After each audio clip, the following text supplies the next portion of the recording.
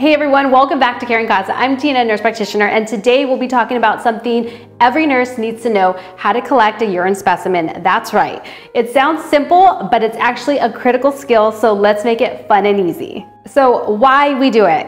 Urine specimens are used to check for infection, kidney function. It'll also detect glucose, proteins, blood, and more. A clean sample means accurate results, and that means better care for your patient. The supply is needed. You'll need your precision urine specimen system with preservative. This includes the Vacutainer with the urine collection tube, gloves, and of course, patient education.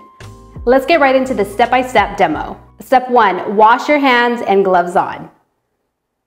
Step two, educate your patient. For collection purposes, we always want a midstream clean catch urine. Otherwise, the results come back inconclusive due to contamination. So educate your patient to use wipes, have them clean front to back for the female patient, start urinating, then catch the urine midstream. For your male patient that is circumcised, Clean the head of the penis with a sterile wipe, or if uncircumcised, have the patient retract the foreskin, then have them clean the head of the penis for collection Prompt them to start urinating, and then catch the urine midstream. Step three, let's collect. Step four, using the precision system, insert the collection tube within the vacutainer and let the specimen transfer.